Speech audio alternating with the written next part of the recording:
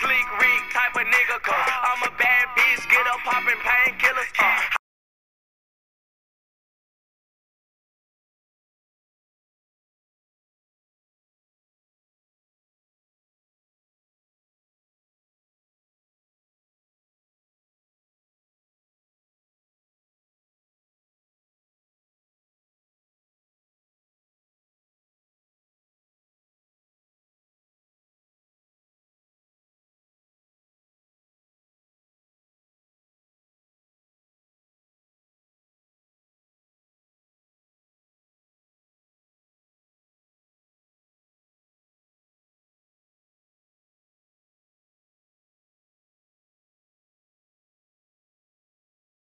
You